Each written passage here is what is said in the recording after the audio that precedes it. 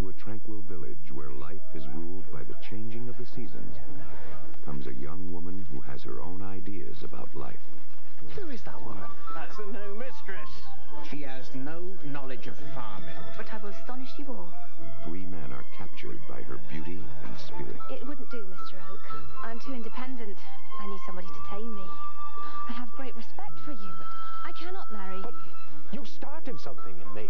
One is a soldier who awakens her passion. What do you know of him? Do you think he's honorable? Because I think he has little or no conscience. Leading to a tragedy that will engulf them all. Oh, but to God, you could tell me your secret. Mobil Masterpiece Theater presents Thomas Hardy's tale of a woman with a lot to learn.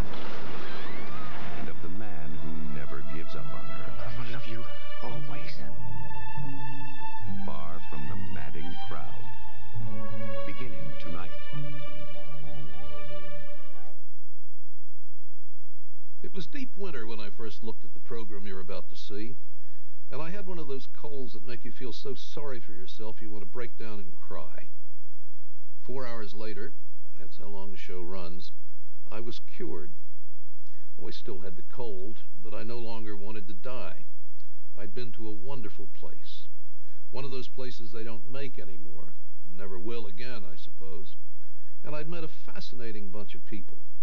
Not all of them suffused with goodness and light, to be sure, but people I'd cared about, even those who were not as good as they should have been. The program is far from the madding crowd. You won't be watching all four hours of it tonight. We're showing it in two installments, each two hours long. It's one of Thomas Hardy's early novels, and it's a young man's book. He was 34 when he wrote it. In his later work like Tess of the D'Urbervilles and Jude the Obscure, Hardy's world became terribly bleak. The world he paints in Far From the Madding Crowd, however, is full of light and joy in the beauty of lives governed by the Earth's natural life cycles. It's the story of a beautiful woman, Bathsheba Everdene, and the effect her beauty has on three different men. Bathsheba is a very young woman, very impulsive and very proud, sometimes to the point of arrogance. She can also be foolishly mischievous, and this weakness is going to make her life unpleasantly complicated. First installment, Far from the Madding Crowd. 47, 47, who can be 47? 47, 48, who can be 48? 48, 49, who can be 49? 49, 49, 49, who can be 50? 50. 50. 50, who can be 51, 51, 51, 51, 50. Sold a farm roll for 50 shillings. Gentlemen. Gabriel Oak, is he? Uh-huh. I thought you worked out at Norcombe. Uh, at least a place of my own now. Small, but it's a start. Have you borrowed? Up to here. Oh. Good luck to you, Oak.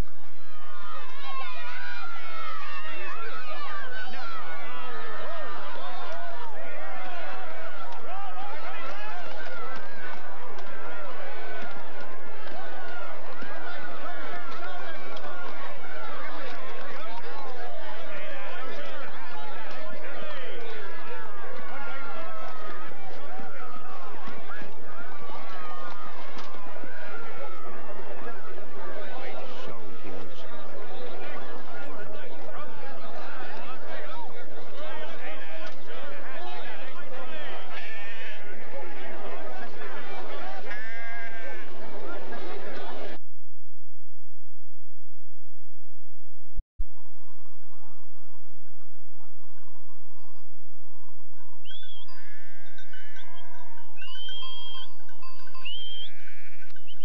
George? George? She says that's enough she's offered you, you great miser, and she won't pay no more.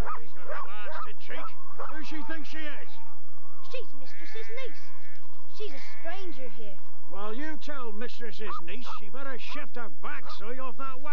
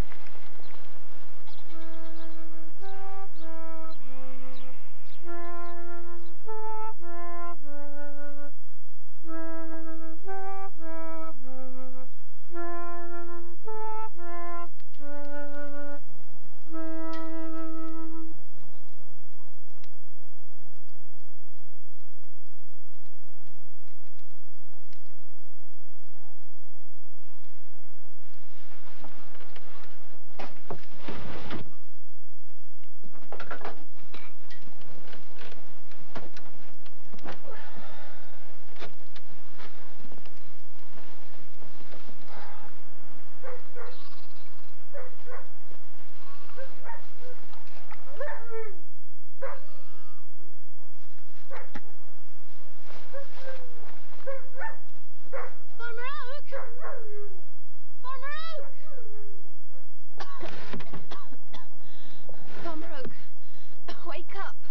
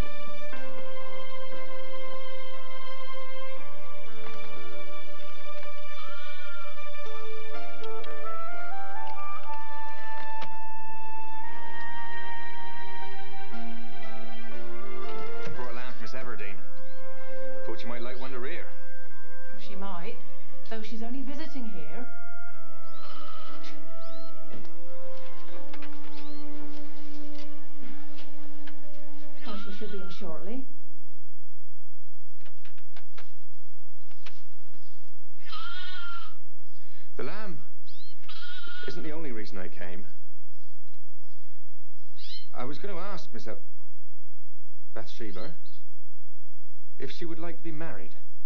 Are you indeed? Because if she would, I'd be very glad to marry her.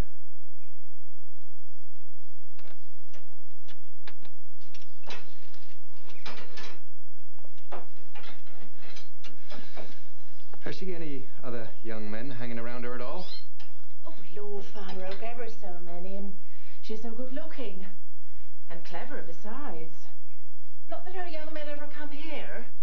Uh, she must have a dozen. That's unfortunate. Well, that was what I came for. Thank you. Good day to you, Mrs. Hurst. Hi! Hi, Farmer Oak!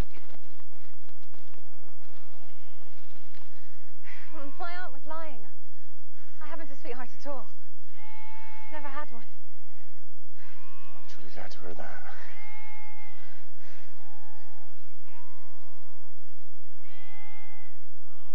Well, I I have my own snug little farm. 200 sheep. Well, 400 by the time lambing's finished. It's not all paid for yet, but uh, I'll work twice as hard when we're married. Oh, but I never said I was going to marry you. What, you run all this way and then say you're not going to marry me? But if I wanted to marry you, I wouldn't have run after you. No, I just wanted to let you know that nobody has me as a sweetheart. I hate to be thought men's property in that way. Oh.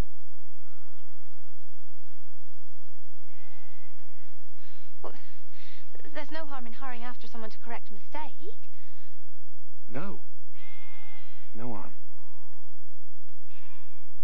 Well, I'm, I'm not sure it's no harm. Anyway, I, I hadn't time to think whether I wanted to marry you or not. You'd have gone over the hill.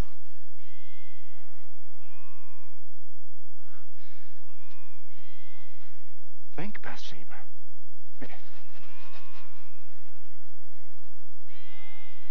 Will you marry me?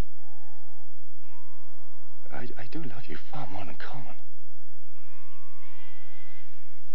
I, I'll try to think. If I can outdoors.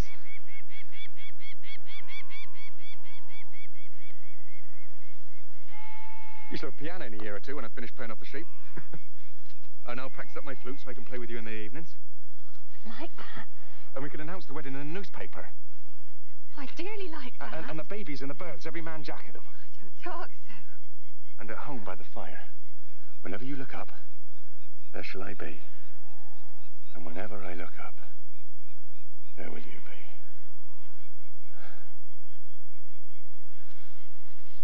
Uh, it's no use. I, I don't want to marry you. I can't. Why not? Because I don't love you. But I love you. It wouldn't do, Mr. Oak. I'm too independent. I need somebody to tame me. You'd never be able to do that. Who says I couldn't?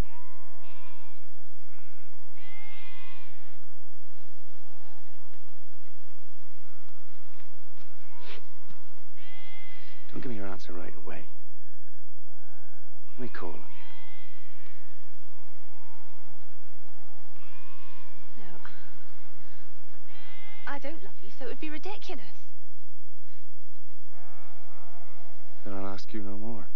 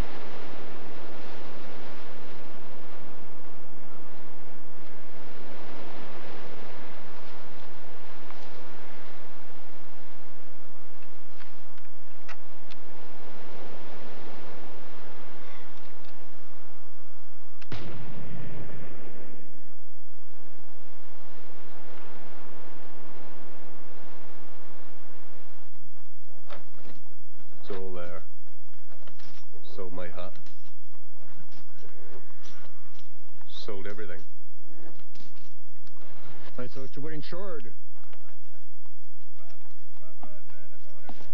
Gave all I had for the sheep.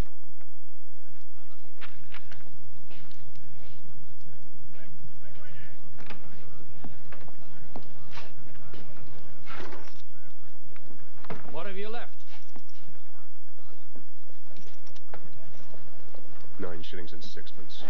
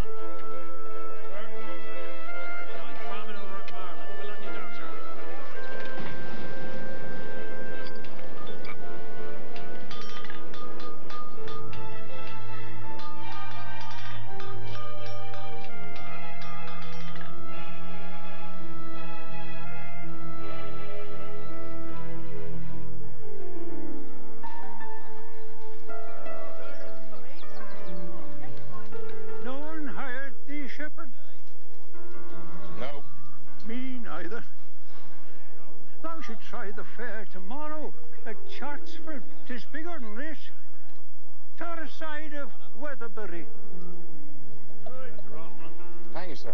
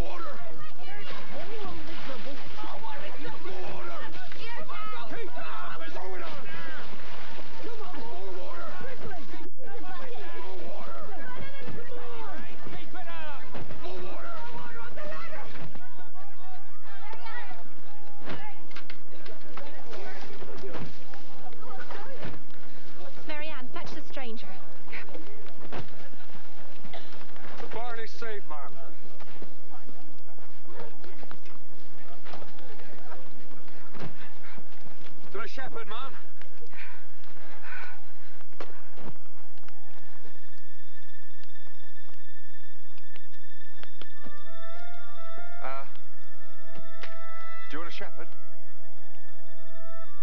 I, I do want a shepherd, but He's the very man, mistress. If the wheat rick had gone, the barn would have followed for sure. True. Is this shepherd done most good? He's all there, ma'am. So he is?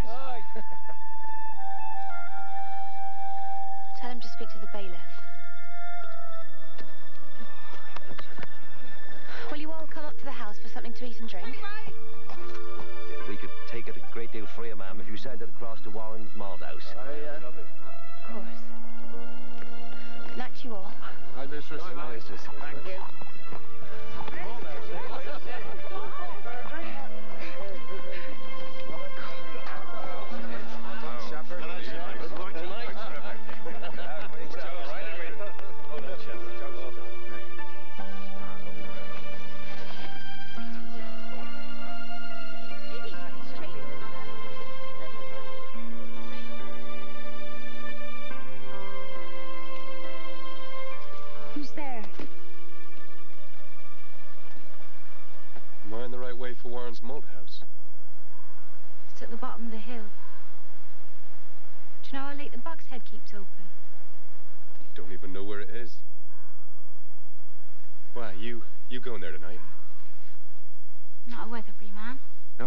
Shepherd.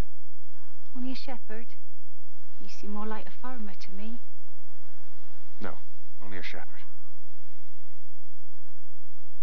Please, don't say anything in the village about seeing me. I don't want people to... to know. I'll say out if you don't want me to. You're right. I must go. Here. Do you need this? It's only a shilling, but it's all I can spare. Thank you.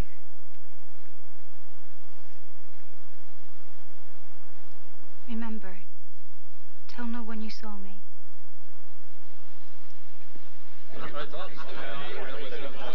And did you see the way that blasted Pennyways came in at the end and took all the credit? He's neither use nor ornament. Why the master ever made him Bailey when there's gifted men willing? He'll be able to do what he likes. She don't know a pretty horse from her elbow. Pretty horse, mind.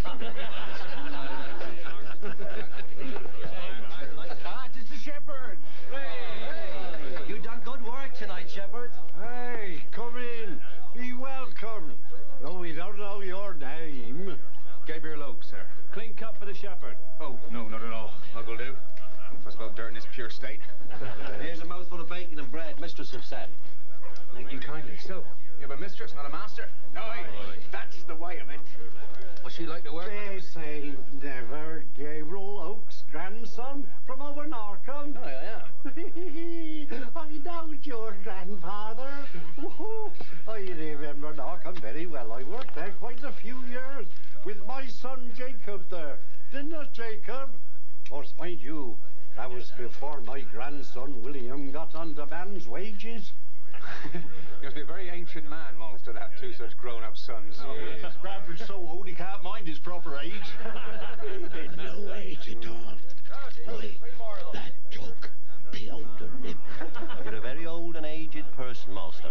Take no notice of yon spiteful pixie. Oh, and did Miss Everdene's father and mother come from these parts? Aye, but they was town folk.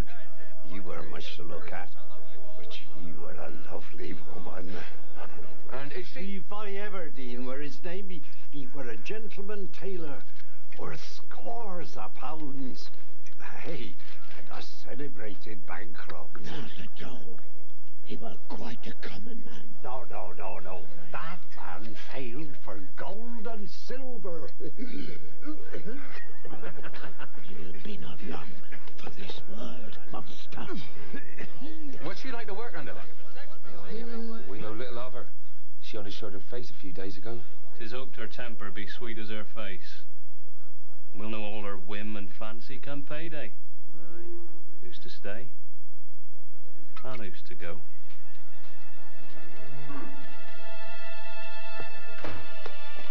Maybe Fanny's been burnt in the fire, Ned. Oh, Very close about it, miss, but I think she There's a young man in Casterbridge. Do you know his name, Marianne? No, miss.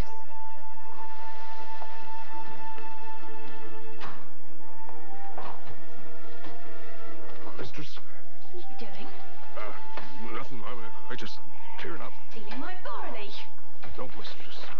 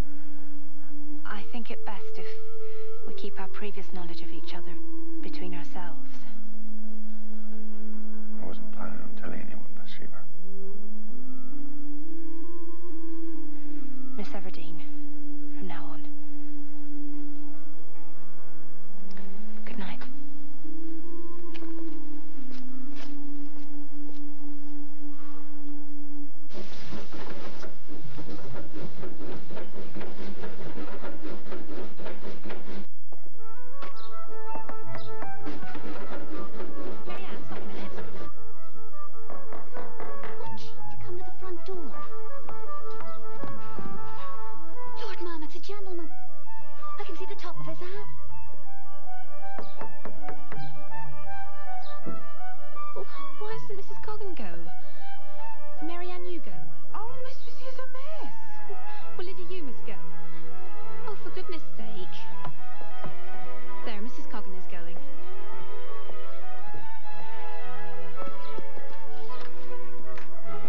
Mrs. Coggan, I uh, heard about the fire last night. Is everyone safe? Yes, sir. And the Ricks? We lost the best part of one, but it could have been a lot worse. Is the new mistress within? I'll tell you you're here, sir.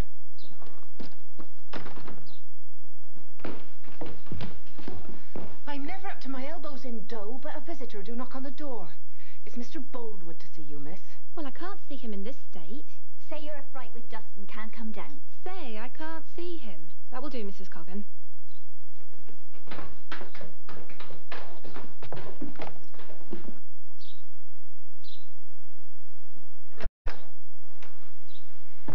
Miss Everdene can't see you, sir.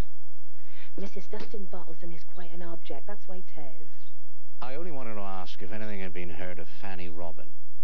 Nothing yet. But Billy Smallbury has gone into Casterbridge to look for her. I'll trouble you no more then. Who is Mr. Boldwood? A gentleman farmer across the way at Little Weatherbury Farm. Why would he inquire about Fanny? Well, mistress, Pardon when me, Fanny wa- Marianne. I do believe Mistress was asking me. Fanny lost her family when she was but a girl, miss.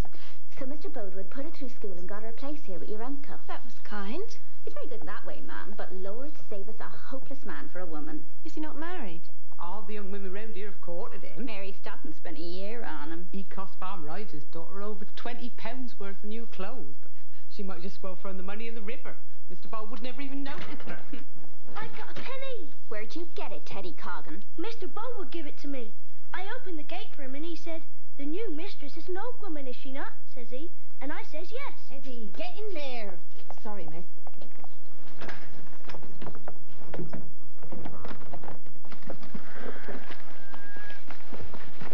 Sam, still no news of Fanny Robin. I think we better make ready to drag New Mill Pond. Yes, sir. Adam? George? Come on. Come on. Arthur. What? Come on. You know phone. Come on.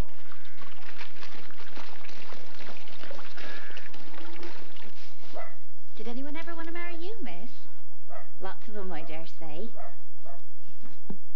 Man did once. But he wasn't quite good enough for me. How sweet to be able to disdain. Kiss my foot, sir. My face is for mouths of consequence. Hm. Did you love him, miss? No. But I liked him. Do you still? Of course not. Oh, Philistines be upon us. She might cut us down to eight shillings. Farmer Ives will only pay eight. Well, she might sack the lot of us. Eh? Where would I go? I've lived in this village all my life. Oh, she'll make Bailey, that's the question. Now's my time. If you say so, Henry. There's a Fanny. I think it's the you, sir, that we lost at Christmas. Get rid of it, Sam. Ah. We'll make a start on that side next.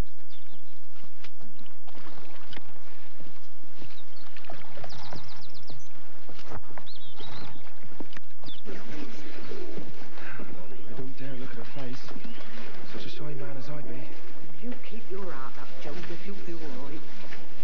Where's Henry doing this?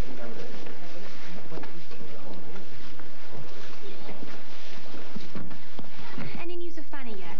No, ma'am. Nobody's seen her. Well, let's make a start. Joseph Poorgrass, are you here? I be Poorgrass, sir. Speak up, I shan't hurt you. What have you been doing on the farm, Joseph? I do do carting things all the year. And in seed time, I shoots the rooks and the sparrows and helps with the pig killing. And how much to you? Please, nine and ninepence, sir. Ma'am, I mean.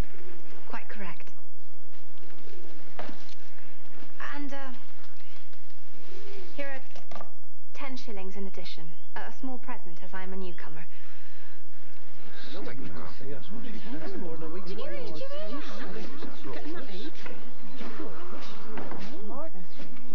What? The new shepherd will need a man under him. Who can he have? Young Cainy Ball's a good lad. If Shepherd Oak don't mind his youth. Oh, I don't mind. Very well. Cainy Ball to be under shepherd. You quite understand your duty, Shepherd Oak. I believe I do, Miss Everdene. Temperance and Soberness Miller. Both women? Yes, um, here we be, we believe. And what have you been doing? Um, arrowing, weeding, breaking up the hard earth, tending the cows and the pigs, saying oohs to the ends when they go upon your seeds, and threshing in the winter time. Are they satisfactory women? Oh, ma'am. Yielding women. As scarlet a pair as ever was. Sit down. Me, ma'am. Get back to your seat.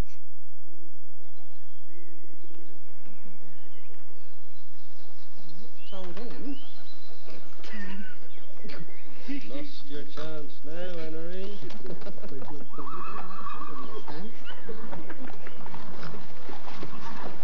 Well, In round numbers, ma'am. Annie Robbins run away with the soldiers. she's a steady sort of girl, isn't she? Oh, she is, ma'am. Conscientious maid. But her young man's in the 11th Dragoons. They be gone to Melchester, and I was told she be gone after 'em. What's the man's name? That I can't find out, miss. But I believe he's higher in rank than a private. Cane Bull, you'd better go over to Farmer Boldwood and tell him that. Yes, mistress of you present. Last night I came upon Pennyways, the bailiff, stealing barley from the granary. I was going to prosecute him, but I've decided against it. But I'll do my best. And if you serve me well, so shall I serve you. And don't any of you think that because I'm a woman, I don't know the difference between good goings-on and bad.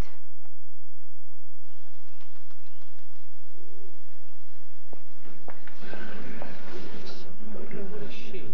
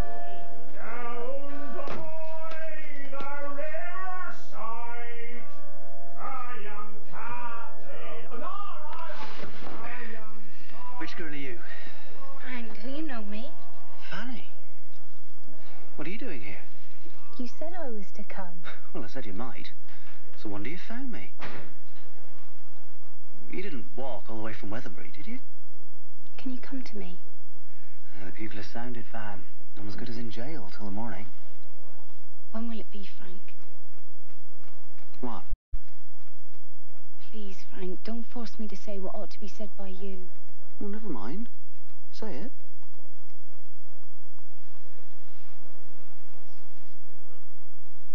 When will we be married? Oh, really, Fan, you come in like this? It's all so sudden. You think me forward. Don't, Frank. I love you, and you told me so many times we would be married, and... Don't cry. If I said we will, we will. You come to me tomorrow. I'm at Mrs. Twill's in North Street. I don't like to come to the barracks. There are bad women about. I'll come tomorrow. Good night, Van. Good night, Frank. Good night.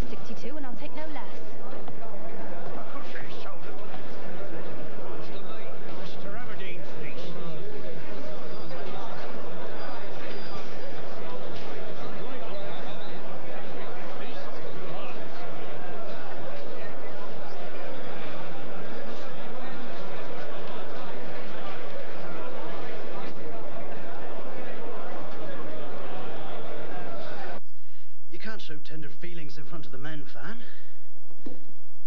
I'd have been laughed out of the barracks.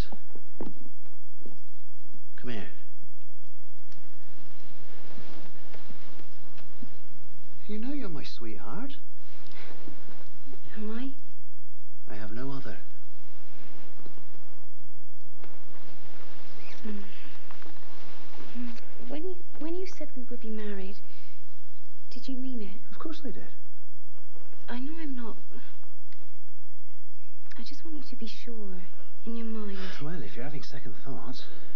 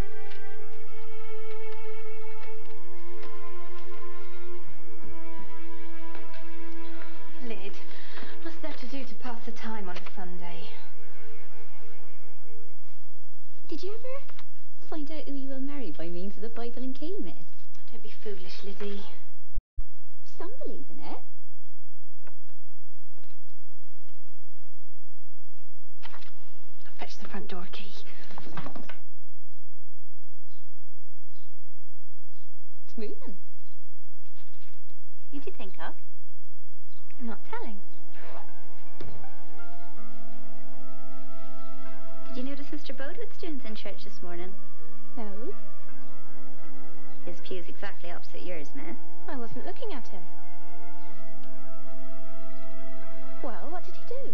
He didn't turn his head once to look at you all through the service. Why should he? I didn't ask him to. Everyone else was noticing you.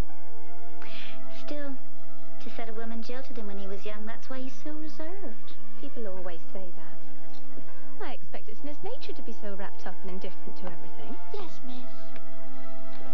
Rich and gentlemanly, what does he care? What's that for? Mr. Boldwood. No, only little Teddy Coggan to make a pretty surprise for him. What shall I put? The rose is red, the violet blue, carnation sweet, and so are you. Oh, what fun it'd be to send it to old Boldwood. How he would wonder. No, he wouldn't see the humour in it. I can just see his face. He'd worry to death. Let's toss Teddy or Boldwood. Oh, no, we can't toss money on the Sunday. Toss the hymn book. There can't be any sinfulness in that. It's more likely to fall open. So open, Teddy, shut, Boldwood. Mistress!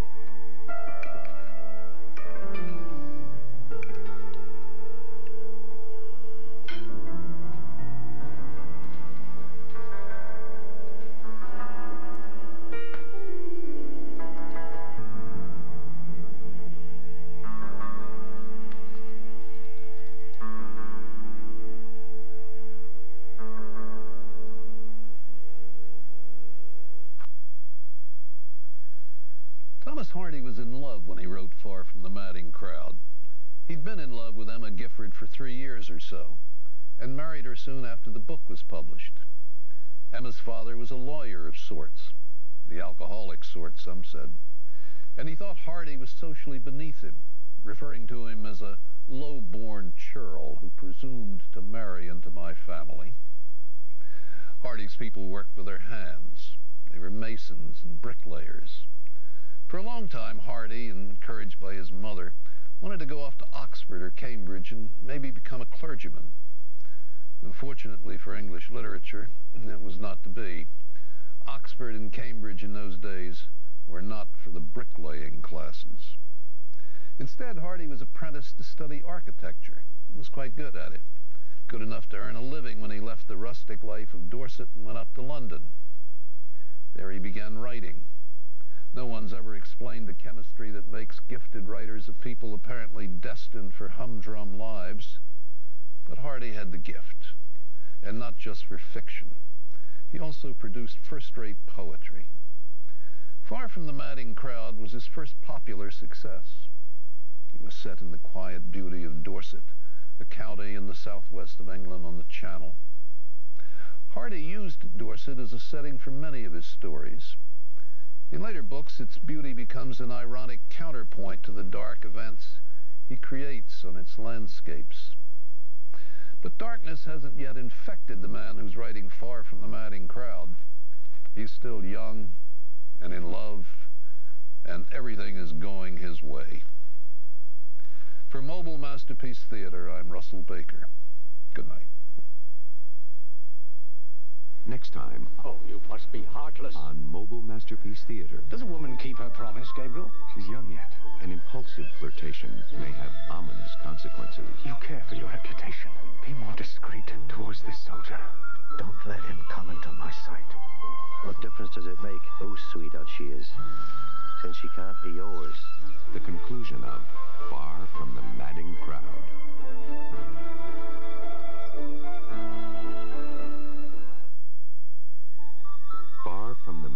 Crowd is available on home video cassette for $29.95 plus shipping and handling. To order, call 1-800-255. This is PBS. To order the companion edition of Far from the Madding Crowd, call 1-800-255-9424. This hardcover book is $16 plus shipping and handling. No. Send him away. I shan't be seeing Mr. Mallory ever again. He's much too simple a country boy.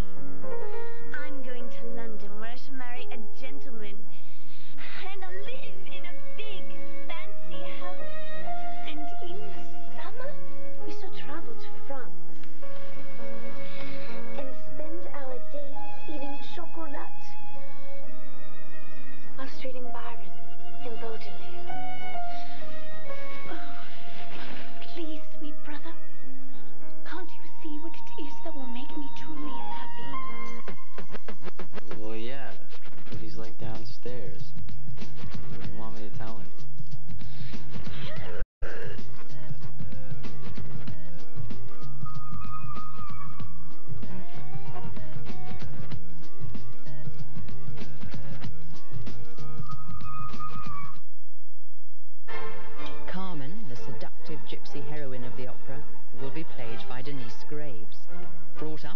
side of the tracks in Washington, she sang in the Baptist choir. Now a star in America, she's making her much anticipated Covent Garden debut. The only time I ever missed a cue on stage was at the Royal Opera House. People who were making this tape from the BBC were very aggressive and, and, and very curious people, and they followed us around everywhere.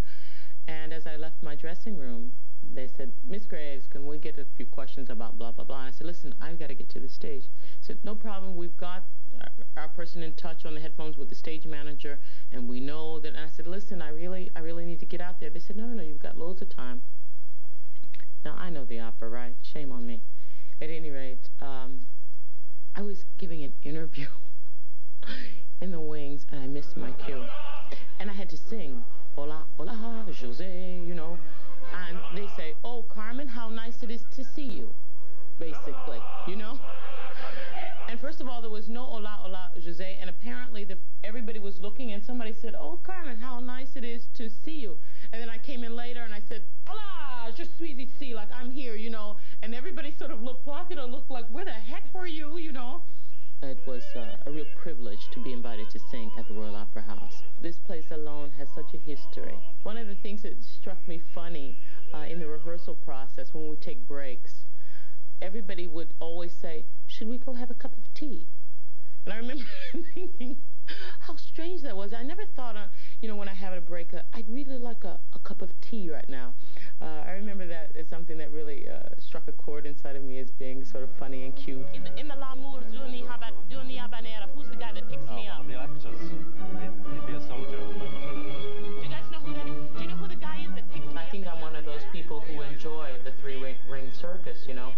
I'm often energized by a lot of those last-minute things that go on, and I feel a certain surge of creativity. You really sort of have to have eyes all around your head and be aware of how you have to put yourself in a way outside of your body and be aware, and this is a certain, this is a different type of talent, to be aware of what you look like on stage. That's how you want it? That cough in the dressing room proved an ominous warning after all. By the end of Act Two, Denyce Graves felt she was losing her voice. When I found that I had to cancel the debut or postpone the debut, that was a real heartbreaking uh, situation because the Royal Opera House of Covent Garden is, is one that is held in such regard and such high esteem amongst people in the profession. Two, three days and just relax and everything is fine. Just forget it. It's fine. It's life. It's normal. And you are wonderful. Believe me. You're wonderful. And always wonderful.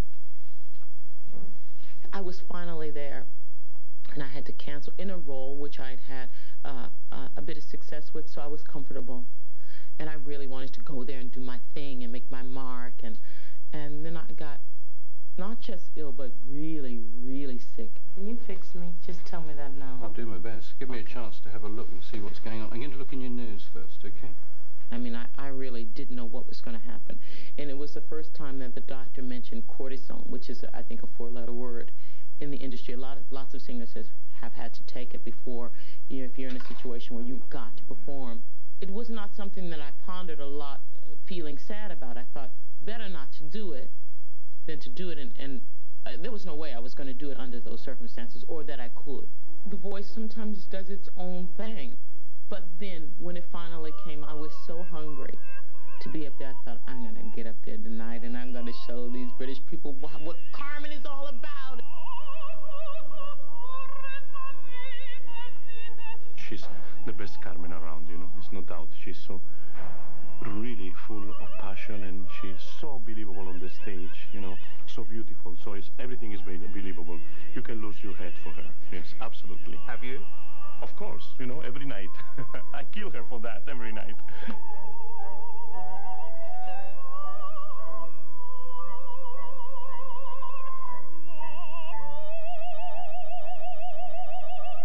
Performing is important to me and my work is important to me.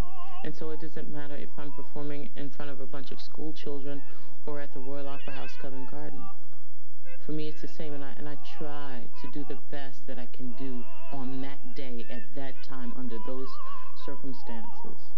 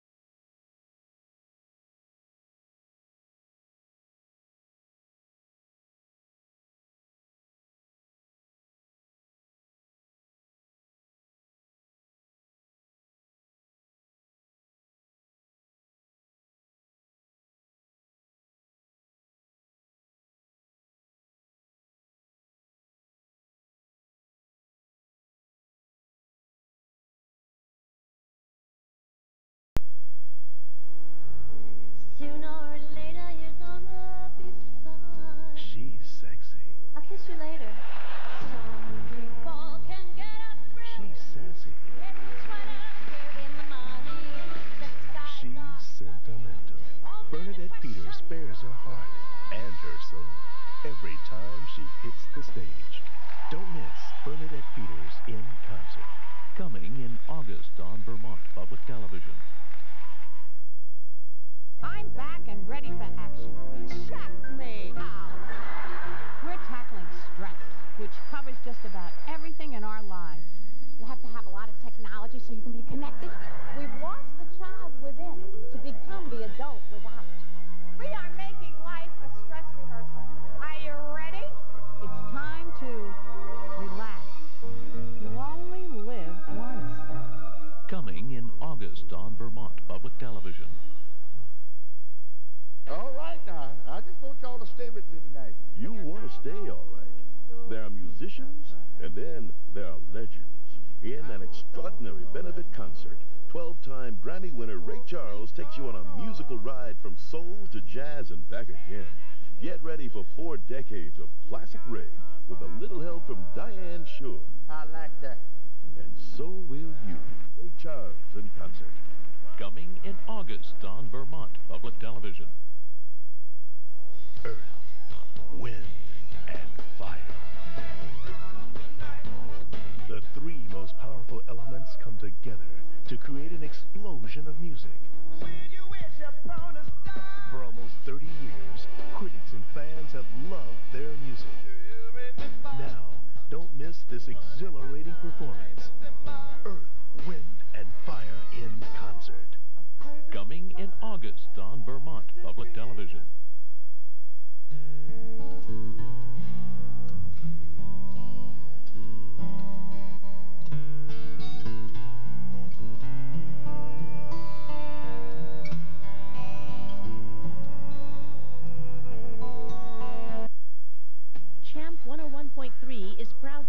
This program on Vermont Public Television.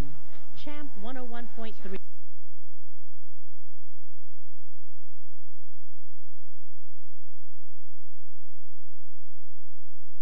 What are you doing? Straightening up a little. That's my job. Those old ladies can really make a mess. Well, see that you leave some of it for the morning. I don't want you deducting it from my salary. Again.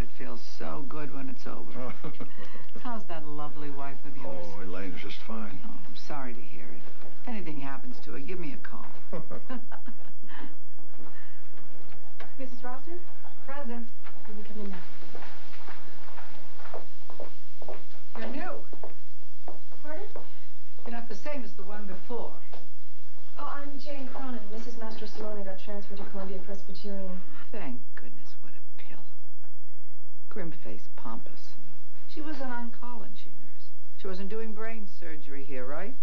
You think she took her job too seriously? Would you rather be treated by someone who didn't?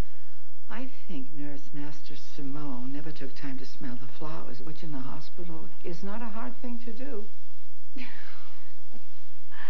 oh, you have a sense of humor. I like that in a clinician. So it says here that you had a mastectomy five years ago. I was uh, told to get reconstruction, but my husband, he died three years ago. I'm sorry. Yes, well, my Nathan, beloved Nathan, said, why bother? One breast is plenty for both of us. So I settled uh, for a specialized brazier.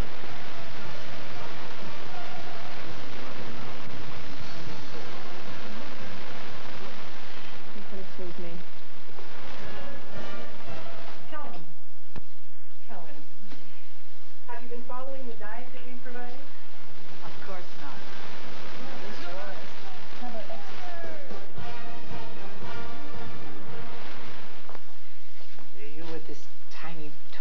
bet you watch every morsel that goes into your mouth. You have a lovely figure. Thank you. What are you, an Olympic swimmer, skier, something like that? Actually, I'm a couch potato and a chocoholic. I just happen to luck out in the gene department, I guess. Oh, don't guess. No. So should we take some blood now? You're giving some too today, huh? Wait a second. You have a little bit of a lipstick smear just right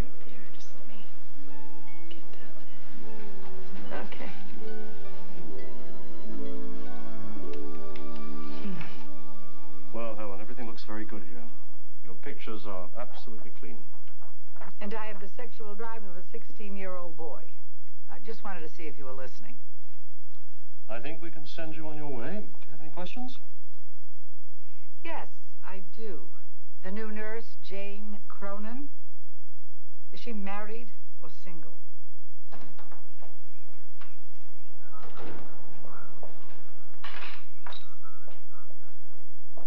Did you throw your coat down in there as usual? Yes, but then I... you just take your round self back in there and pick it up. I will, but I have something to tell you. I'm watching my story right now. This is important. Her stepfather is starting to hemorrhage. Very important. Well, the commercial will be on any second now. Tommy is getting married. What? He is going to marry a young woman named Jane Cronin. You're kidding me. Why didn't you tell me about it right away? Oh, congratulations. I'm so happy for you and for Tom. Oh, Katie, I'm so relieved. Well, give me all the details. What's she like? Have they set the date yet? Uh, not exactly. Not exactly. No, you see, there's one little problem. They haven't met yet. Helen. But she is the one for him. I just know it. Introducing another innovation from GE, custom style refrigerator. Well, I'm just dandy. Didn't get enough the last time, hmm? Well, it's just one of the tests came back a little vague, so I thought we should do a repeat. Good idea. Wouldn't want anything to happen. You know me. No, I don't. But I'd like to know you, that is. Jane, may I call you Jane? Of course. Lovely name, Jane. Jane, I have a son, Thomas. What's the matter? I said I had a son, not the bubonic plague. Why did you go away? Mrs. Rosner. Helen? Helen, I'm sure your son is a perfectly wonderful man. No, he is not perfect, but he is wonderful. I can assure you of that. It's just that I just came off of a very, well, pretty disappointing relationship, and I just don't think it would be a good idea. How long were you with this knave? Knave? I'm old-fashioned, okay. We lived together for five years, three months, and a day. Lived together. You asked. Don't judge. The short version is that I thought it would last forever, but it didn't turn out that way. He was unfaithful. That was the least of it. I'm sorry. Not as sorry as I was. Anyway, I just don't think that I'm ready to meet someone else. Not right away. Maybe not ever. Well, that's a little extreme. Maybe. But it's the way that I feel at the moment. So, how about a meeting? Cup of coffee. No pressure. No big deal. Just to say hello. I'm flattered. I really am. But no thank you. Okay, okay. No coffee. I'll settle for your telephone number. A disembodied voice in the dark. You can hang up whenever you want. What harm can that do? You are a very determined woman, Mrs. Rosner. I'm alive. That's right. You most certainly are. So, what do you say? Seven little digits that could change your life. I've got a checkbook here. I can write a check for 75 bucks right here on the spot if you give me your telephone number. Going, going once. Okay. So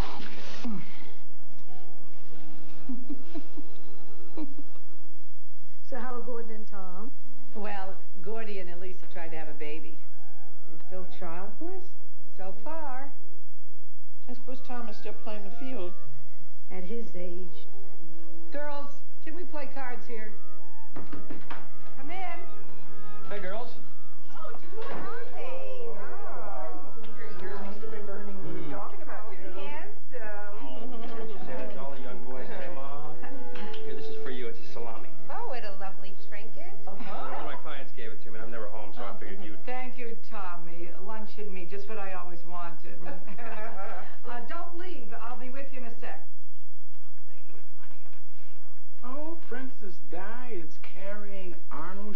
Schwarzenegger's love child. Okay, you gotta stop reading those magazines. How's your love life, gorgeous? Nothing compared to yours, I know that. So, Thomas, you're gonna be an uncle one of these days. How does that make you feel? Fine. Shouldn't it? Yes, of course, but uh, is that gonna be enough for you? I mean, you want to be an uncle all your life? What about some children of your own? Have to share my toys? Forget about it. Well, that's true. You do have to stop being a child in order to be a good father. Father? I'm ready to be a husband. Well, you're a bright, attractive young man. Thank you, Katie. Why aren't you interested in finding a long-term live-in lady? Katie, every day I go to my office, and every day I listen to dissatisfied couples of every age, race, and socioeconomic stratum complain about their marriages. And every day someone manages to set some new record in passive aggression, abuse, neglect. Do I want that in my life? Do I need it? No, thank you. I gave it the office. Well, I guess I'm just selfish. I've raised you since you were in diapers. And I'd like to see your children while I still have my faculties. Couldn't wait until they left. Every week, it's a complain-a-thon. The aches and pains Olympics. Uh, there are no rewards for getting old. Oh, here, this is for you. What are you doing? You just finished lunch. I had some smoked salmon. Why should they get it all? Hmm? This is a phone number. Isn't he something? Of course it's a phone number, but it's not just any phone number. It belongs to an extraordinary person. Shit. Male or female? Female, very female. Mother, please. Thomas, why not? I cannot listen to this. Why do you have to start on this again? Well, as a matter of fact, we do. This is not just any girl. Smoked salmon, delicious. No, I don't Have want a bite. it. No, I- no, bite, a bite, a bite. Here, I don't want this. Take it back. Here. This Jane, she puts me in mind of Janice Pagorni, but a more fully developed. Janice Pagorni from the seventh grade? Yeah, She her. was the love of my life. Hmm, but this one is a blonde and well past puberty, but not that far. And she has a body to die for. Really? Plus, she's a grown-up, a mature, responsible human being. Oh. When did that become a bad thing? Come on, Mom. You know I only go for brainless babes who just want to have fun. Whose child are you? The devil's. Look, This Jane is thoughtful, compassionate, intelligent, and a very shapely woman. Uh, According to you, Mom, they all are. Oh, and all I'm suggesting is that you pick up a phone and call her. Is that asking too much money? Is it? Is it? All right, where'd you meet her? At the hospital. She was my nurse. At the hot? You want me to go out with your nurse? Have you no sense of boundaries, Mother? Everything okay with you? Everything is fine, but just let me say that if you pick up the phone and call this young lady, it will add precious time to my life.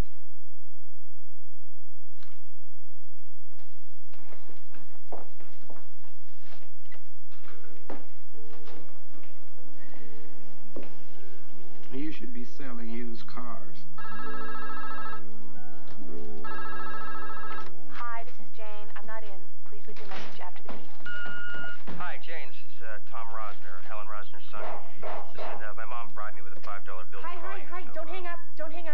Jane.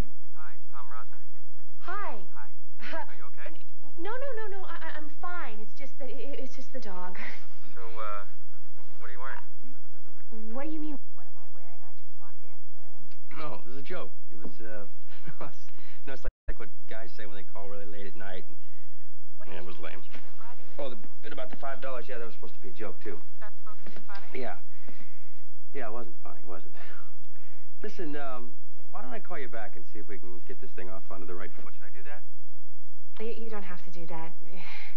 It's just, you see, I, I'm, I'm just not very good at, at this sort of thing. I, I haven't, I haven't done this in a really long time. You know, thought it would be a good idea. Yes, you could say your mother's very convincing. yes, she's definitely overwhelming. Well, what do you say? Should we humor her? I'm willing to uh, give this thing a shot if you are. I'll arrange everything. In fact, you know what? I'll even pay for everything. I know what that means. No, I won't expect anything in return. Who you been talking to? Uh, okay then. We will get together on the one condition that this is a self-sacrificing act of human compassion with absolutely no ulterior motive. And I will pay my own way. Tuesday? Tuesday at 7 o'clock, that would be great. Um, okay, so where do you live? I live at 613 Fountain Avenue, apartment 5D as in date. Right. 5D as in date. I can't believe I just said that.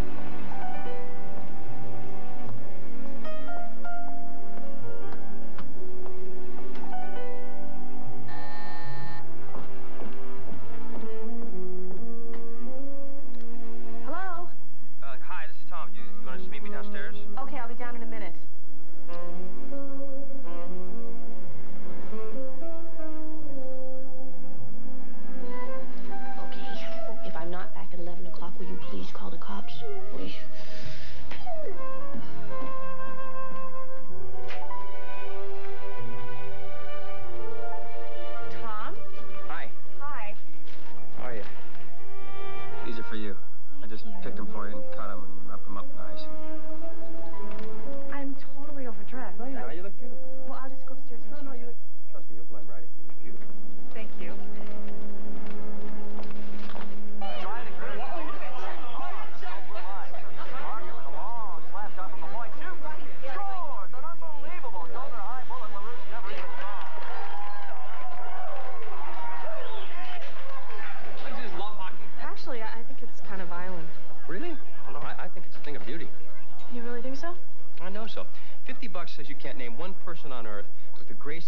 athleticism of Gretzky. Go ahead, I dare you.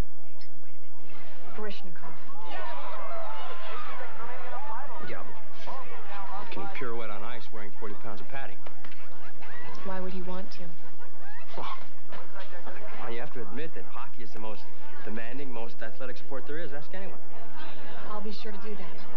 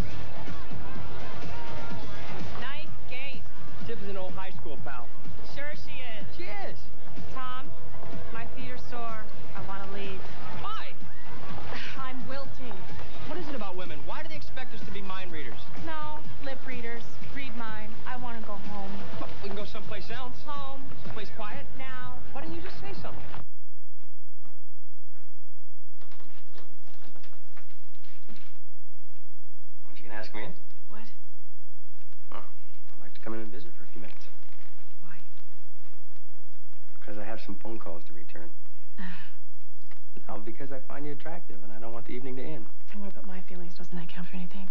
Yeah, absolutely. I'm sorry. How do you feel? You want the truth? Yeah.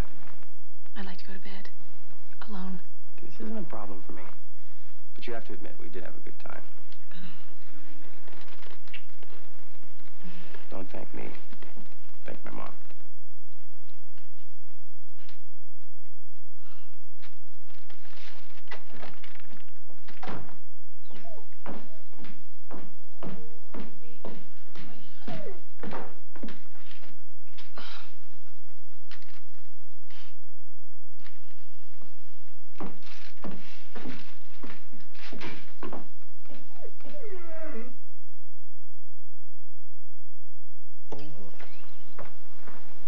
Emma. Tommy, what are you doing here? I had some clients in Encino. The dentist who's having an affair with his hygienist. At least his teeth are clean. Got a minute? Yeah. Take a walk with me, hmm? Mm. Working out at the gym, huh? Mm-hmm. so, So what? so, how did it go with Jane Cronin? Great. I hate to admit it, but you were right. It was great. so you're gonna see her again? Yeah. Jane is a very special person. Tell me. Well, for one thing, I uh, think she reacted positively towards me. She's a perceptive, discriminating person. What else? Well, she, uh... Oh, I'd be modest. I, I think she was attracted to me. Really? And once I got her to relax, she had a good time. She's shy. She's a little shy, you know. I think, I think she has problems expressing her feelings, you know. It was the worst social experience since the dawn of man. But Thomas said the date was... It wasn't a date, it was a sentence. I've had root canals that have been less painful. That's impossible. Forgive me for saying this, but your son has a singular blind spot. He is not aware of human life on this planet other than his own. Thomas loves women, and they love him. Mrs. Rosner. Helen. Helen. I am sure that you think that your son is the greatest gift to women since, well, Adam. But he's not for me. Is that final? I've never had more conviction about anything in my life. Okay. Far be it for me to meddle. So how did it go with the doctor? Did he give you a clean bill of health? They found a little something in my blood. I could be a very sick woman. Who knows how long I have. Oh, Helen, don't say that from one little blood test. I'm realistic. I know what the odds are. Jane, could you do something for me? Anything. Go out with my son again. Give Thomas another chance. You can't mean this. For a sick, possibly terminally ill woman,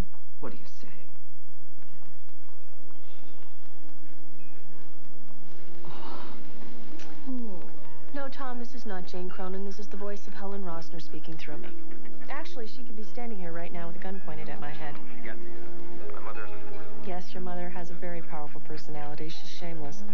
Look, I, I don't really want to talk on the phone right now, so these are my conditions. I will take total charge of the date. I'm going to pick the time and the place. 5.30, Elysian Hall. Elysian Hall? Hey, hey, hey, come on. A deal's a deal.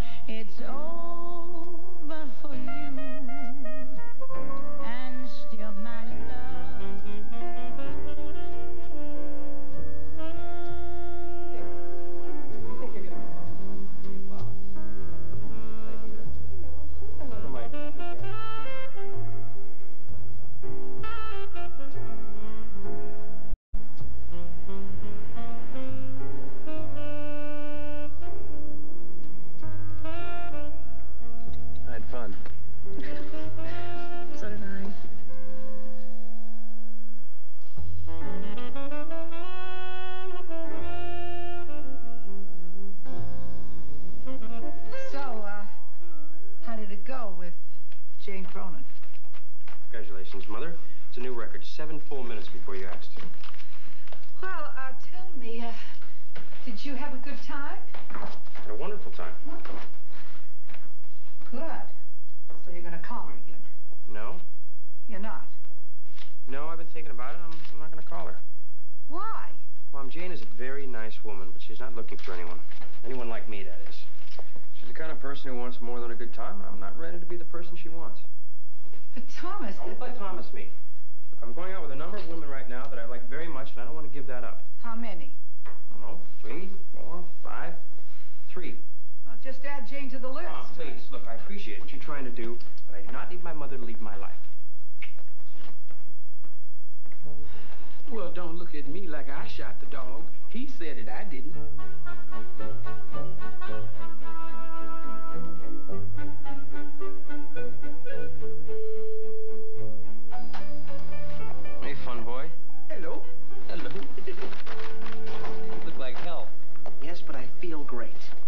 Guess what? Hmm. Lisa's pregnant. Really? Congratulations. man! I am so excited. I haven't been able to eat or sleep. I was up all night. I'm telling you, I have not been this excited since the Cub Scout swearing-in ceremony. I remember that was a very big day for you. Yes, it was. Yes, you can go. This is a lot of food. I am eating for two now. So, you have any uh, sexual tales you could tell an old married man? Kind of, uh, let me live vicariously through them? Something? No. Mom said you, uh, ditched that babe she set you up with. First of all, Jane Cronin is not a babe. A very serious, three-dimensional individual. Well, say no more. She is out of here. And I didn't ditch her. I like her, I just... Well, I, I'm not ready to commit, you know? you never will be, as long as Mom's around. What's that supposed to mean? Ever since Pop died, you've been, uh, kind of like the man of the house, you know? Kind of like a surrogate husband. I mean, you're so busy taking care of her, you, you don't have the time to commit to somebody else. Well, this is nice. You've, you, you've wrapped me up into one neat little package here, haven't you? Yeah. There's one little problem, one little flaw in your theory. What's that? People change. Huh. Normal people, maybe. Ooh, you know how to succeed in business. Life will be good to you. Ah, you missed. Okay, thank you. Okay, Helen. You're all set. Be in room 306 on Wednesday by 8 a.m. No foods after 6 p.m. the night before. No liquids after midnight. I'm nervous. Don't be. It won't be at all painful, I promise. I really am nervous. I need your support. Come have a cup of coffee with me. Absolutely. I wanted to be a doctor, but my parents couldn't afford to send me to medical school, and I was just so afraid to apply for a scholarship because I was just so bad in math. Well, it's never too late. It is for me. And besides, I really enjoy doing what I'm doing. And I have a lot more human contact with the patients. Tommy! My car is in the body shop. Tommy, came to drive me home. I'll just go to the ladies' room. Actually, I have to get back. I have patients. 45 seconds. I timed it.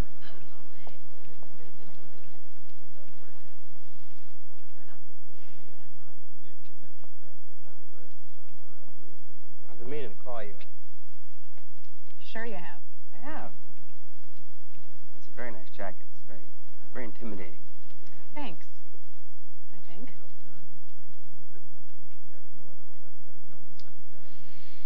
So how's my mom? Well, we'll know a lot better next week, but you shouldn't worry about anything until you have to. If you have to. Can you do that? No, I'll worry anyway. See, I love her a whole lot. I can understand that. I just want to say that from across the patio, you make a wonderful couple.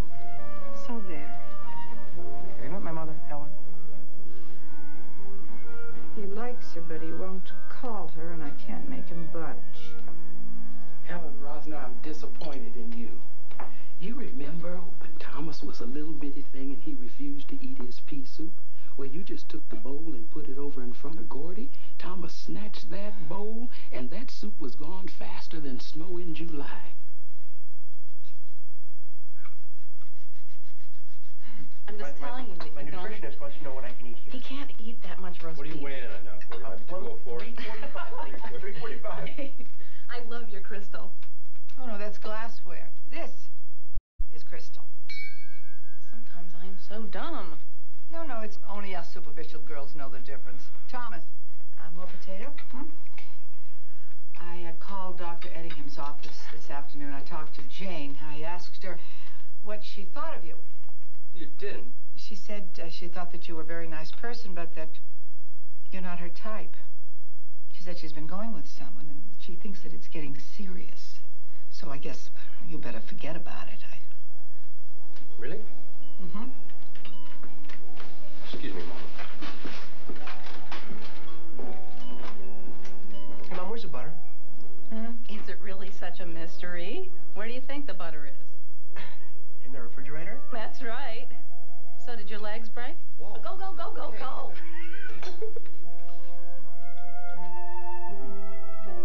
Alright, Saturday night? Okay, good. I'll pick you up at your place. I dress formal because it's going to be a top-of-the-line, state-of-the-art date, all right? Okay, bye.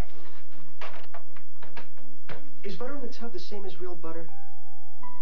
That was Jane Cronin. I'm going to see her this weekend. Really? Thought you weren't interested. Changed my mind.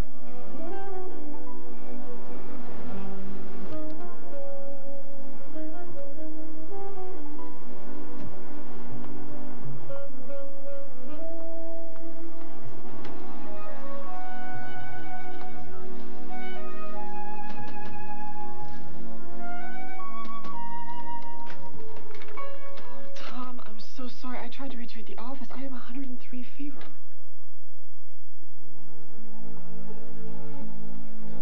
Here we go. Making sure anything else? Some aspirin or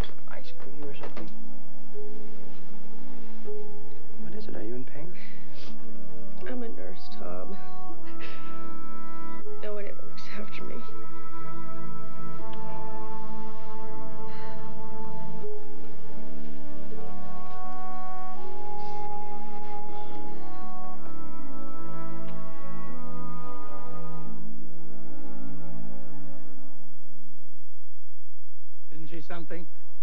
She makes me feel like I'm 78 again. Look at you two. You guys are madly in love. You kids are nutty about each other. You have a, a, a wonderful relationship, a, a wonderful, long, long-term relationship. Why would you want that to end? Tell him, Ida. I want to play the field. Ida. Ida, you're a, you're a mature, extremely mature woman. Let me be frank with you. See, I date a lot. I heard. It's very cold, very cruel, and competitive out there. Do me a big favor. Stay with Saul. Give it another, I know, another decade. Then we'll all get back together and we'll talk and see how things are then, okay? Miss Cronin is here. Excuse me a second. Send her in, please. My date's here. Come on, Saul. Let's give it another ten years. Atta boy, Solly. He dates a lot. I know. Hi. Hi. You look beautiful. Here, come here. Got a surprise for you. Wow. This is romantic. Well, you're dealing with a very romantic guy here. Oh, I forgot.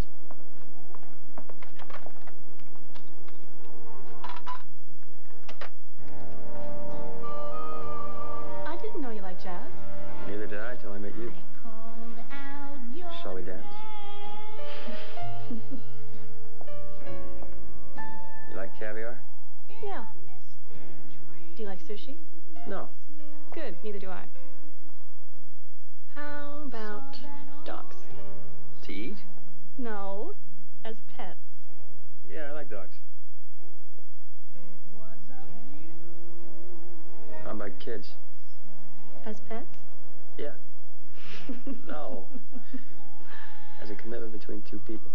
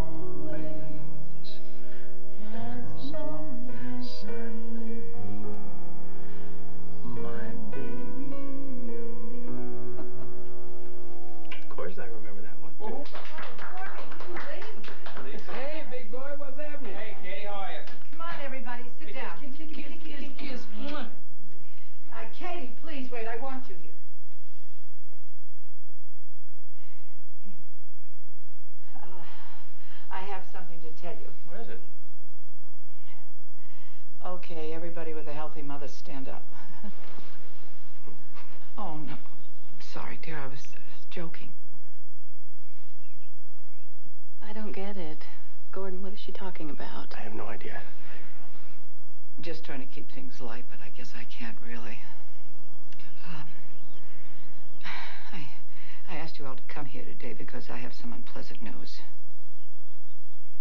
I went to the hospital and had a CAT scan. Why didn't you tell us, Mother? I didn't tell anybody because I didn't want anyone to come with me because, frankly, I thought the news would be good.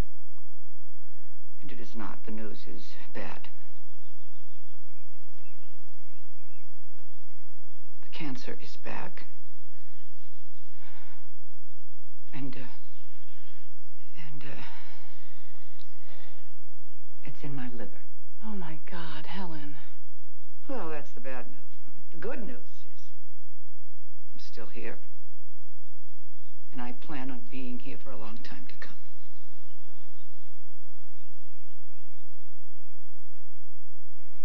What exactly did the doctor say? I have to have chemo. I have nothing else to tell you except I'm not buying any green bananas and I do not intend to make any long-term investments. Now, who wants something to eat? Hmm?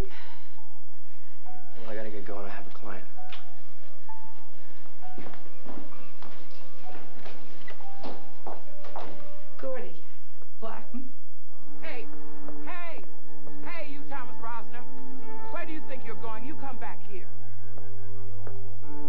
Think you should go back to your mother?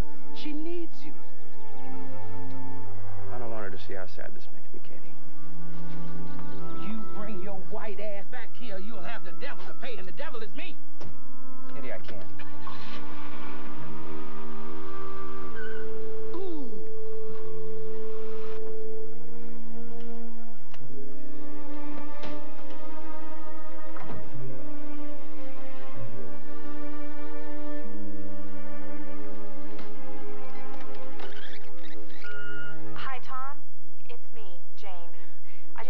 Work today, and I just found out about Helen, and I've been calling your office, but they said that you were out for the rest of the day. Would you call me when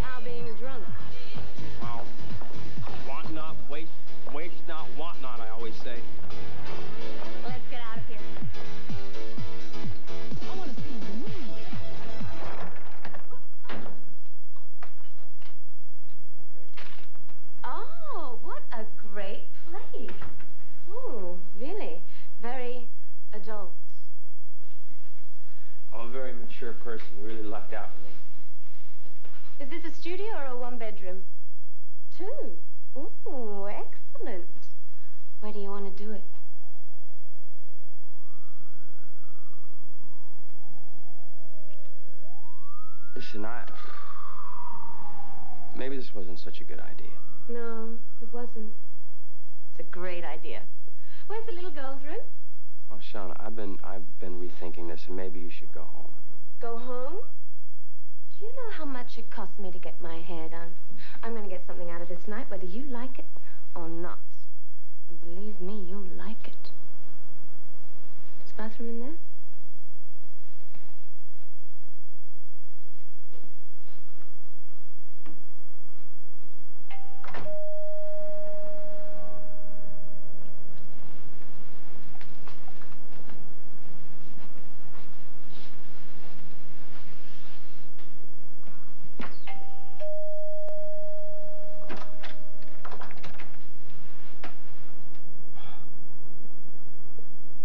How are you feeling? I'm just gonna put these in water. I talked to your mom, and um, she said that you were there, but then you left early, and so then I called here. Tom, I looked at your mother's chart, and I just thought it would make you feel better if you knew, you know, her prognosis. You know, if you know all the facts. You're awfully quiet. You're taking this really hard. Are, are you okay? Have you been drinking? Oh, a threesome. I don't think so. Jane, this is not what you think. Actually, you know, it's, it's worse than you think. Jane, listen. No, I don't have to listen to this. I'm really sorry about your mother, but I don't have to put up this kind of behavior. Jane, I'm sorry. That's not good enough. I don't need to pamper an immature son of a bitch.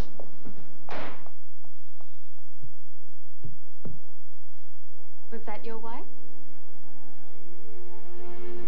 Too bad. She seemed nice. Listen, if it's okay with you, I'm not into this anymore.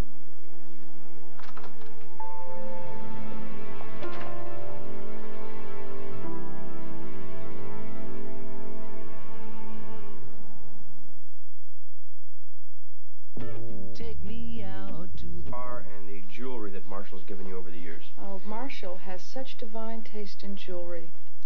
Marshall, you'll take possession of the piano and the vacation home in Aspen. It's going to be so empty there without you and the kids. I... Oh, I know, I know. Billy and Andrew will remain in custody of Sarah, but Marshall, you'll have them on the weekends and one month during the summer. One month. I can't believe we're breaking up the family like oh, this, I know. Sarah. I, I- I feel so, so selfish. So, so self-involved. The remainder of the art and the furnishings in the apartment Oh, well, I don't want the king-size bed. Whenever I looked at it, I'd be